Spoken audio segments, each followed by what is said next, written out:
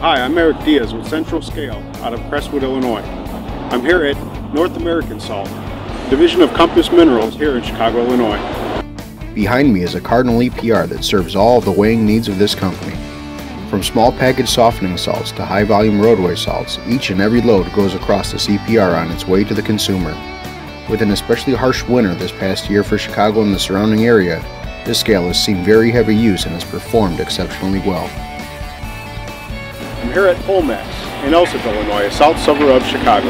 Behind me is Cardinal Scale's multi-platform EPR. They've been able to use the EPR in conjunction with a truck fueling station that they utilize not only for their own equipment, but for the local businesses as well as for any consumers wanting to take advantage of weighing on the scale. This is a great benefit to the area, and the EPR fulfills all of the weighing needs of a logistics company. Record-breaking cold and near record-breaking snow here in Chicago, the Cardinal EPR has stood the test of time in all seasons.